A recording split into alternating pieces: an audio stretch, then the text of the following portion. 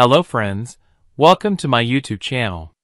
We'll show, if your Microsoft Office products like Word or Excel have problems, you can try to reset Microsoft Office settings to see if it can help fix the issues. Also, learn how to reset Microsoft Word to default settings in two ways.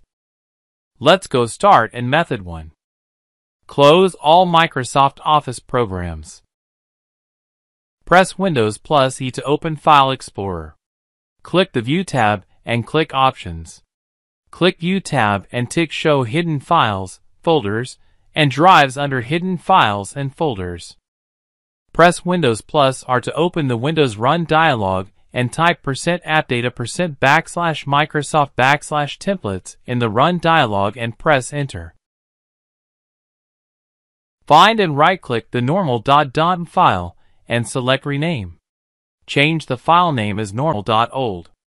After you rename the file, Microsoft Word will have to create a new file with its original factory settings. Close the programs and apply method 2.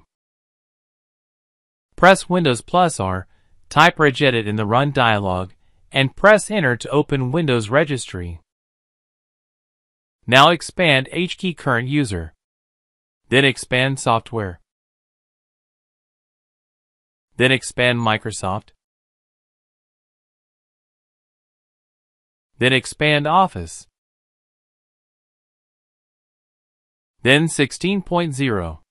If you are using Microsoft Office 2016 and update, you got a 16.0 folder. Now right click on Word and delete the Word folder it's done now close Registry Editor. Open Word again, and it should be reset to default settings. If you are first visiting my YouTube channel, please subscribe and notify the bell icon click and see your next updated video.